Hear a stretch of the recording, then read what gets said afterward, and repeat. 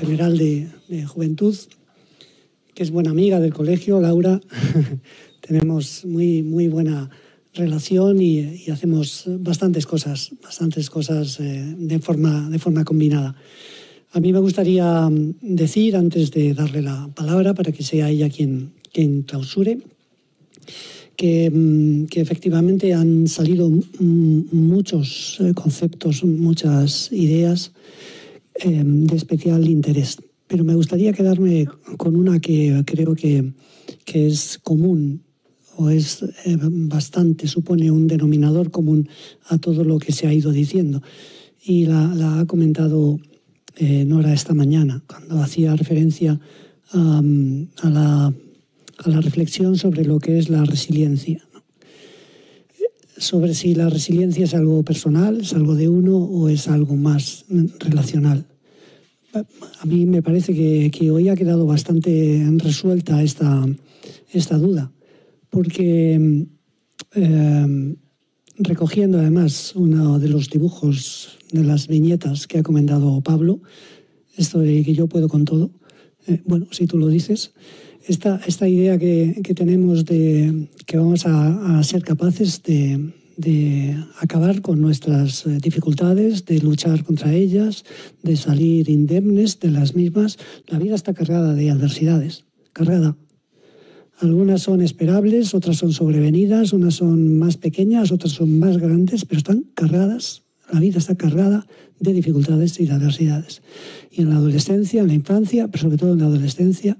que es un momento, no se nos olvide, es un momento en que, en que pasamos de pensar en lo concreto a pensar en lo abstracto.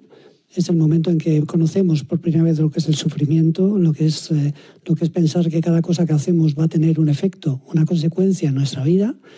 que es el momento en el que empezamos a, conocer eh, sentimientos como, como, el amor, por ejemplo, eh, que, tantas eh, experiencias mágicas da, pero tantas experiencias dolorosas también nos introduce. en esos momentos, en esos momentos mm, pensar que, que, la idea de la resiliencia entendida como que tenemos que generar competencias en los individuos para que sean capaces de sobrellevar todo aquello que les, eh, que les eh, que discurre en su vida, que aparece en sus senderos. Bueno, como idea está bien, pero si no somos capaces de entender que esta es una vida marcada por las relaciones, por el grupo, por, eh, por, por, ese tejido social que, que nos sostiene, no, no, acabaremos, no acabaremos nunca de, acometer adecuadamente la gestión de, un problema, de un reto, de, una, eh, de un fenómeno como, como este. Eh, las eh, personas pueden encontrarse en muchas ocasiones cargadas de dolor, de sufrimiento insondable, de desesperanza, pero probablemente es la desconexión y ahí es donde los centros educativos tienen una capacidad tremenda para operar, la desconexión de sus propios proyectos, de las demás personas, lo que acaba por eh, hacerles perder la referencia, hacerles ver que no hay, que, que no les hablen de luz al final del túnel porque no saben qué es eso del túnel. Por lo tanto, si yo tuviera que concluir, y quiero concluir con, con, una, con una idea, em, estas jornadas nacieron con la idea de, horizontalizar el conocimiento, de percibir verdaderamente cuánto conocimiento hay sobre la salud mental en cada uno de nosotros y de nosotras. Lo, hemos podido ver muy bien, por ejemplo, cuando hemos escuchado a nuestros chicos y a nuestras chicas, y, cómo el, poder del, tejido social, relacional, vincular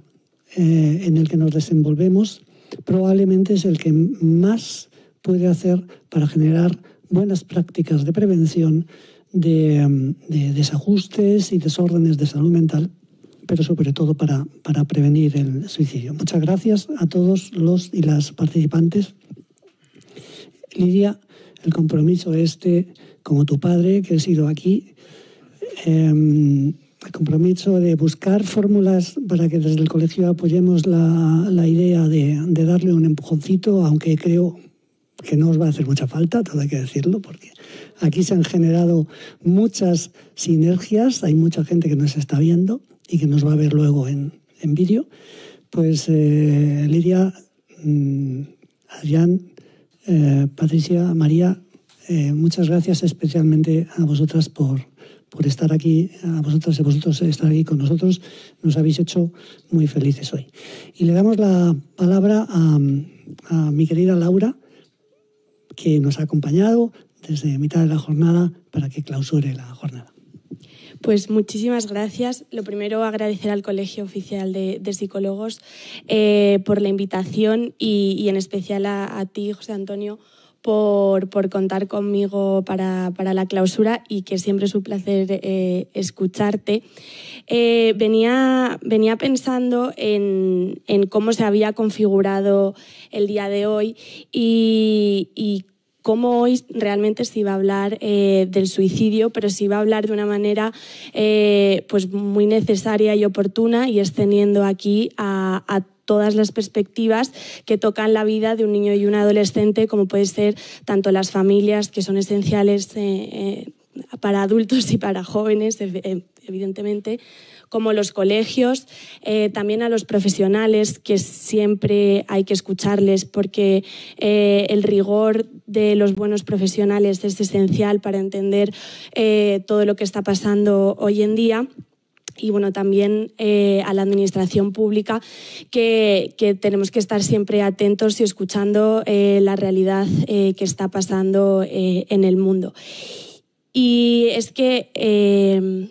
yo lo que, lo que sí que creo que está pasando en España es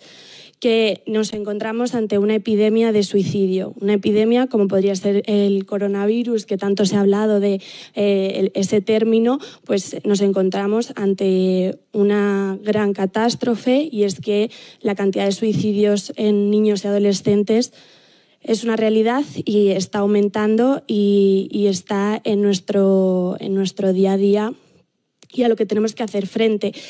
Eh, pero como sociedad yo creo que me niego a, pensar eh, eh, y a entender al suicidio como la única salida que tiene uno frente, frente al dolor. Y efectivamente tú decías algo que, creo que es esencial y que a veces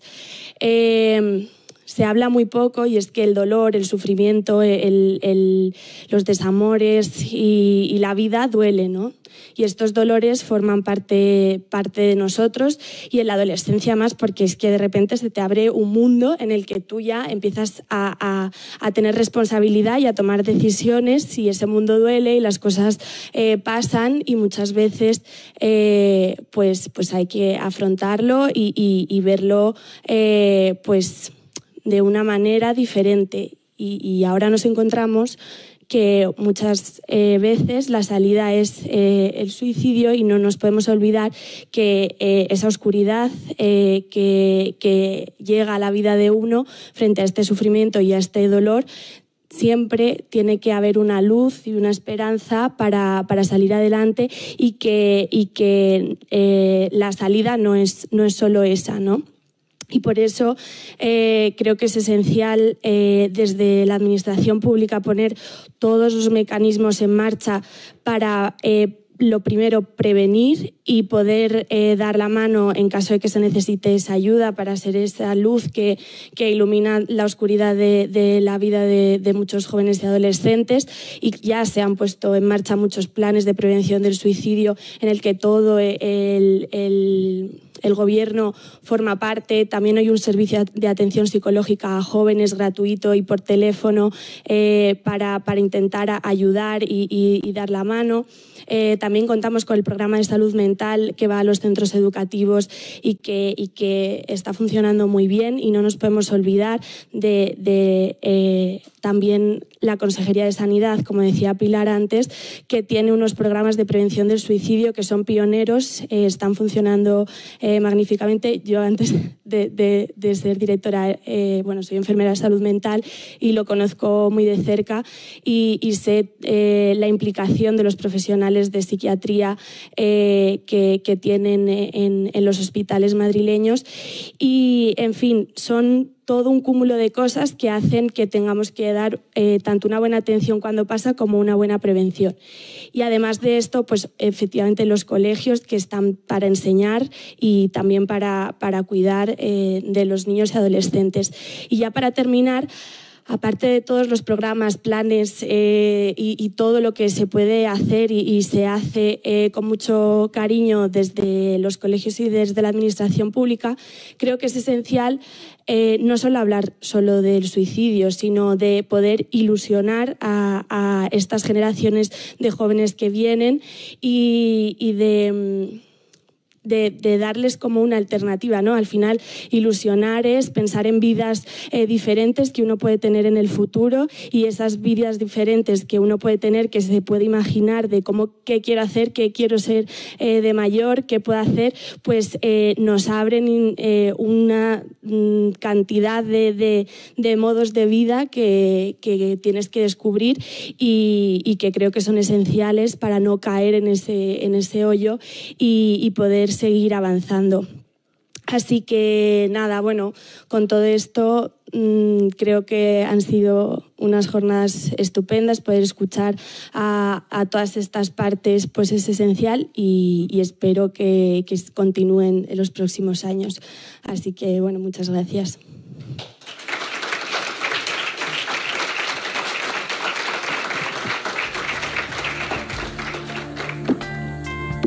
Bueno, pues ya está pues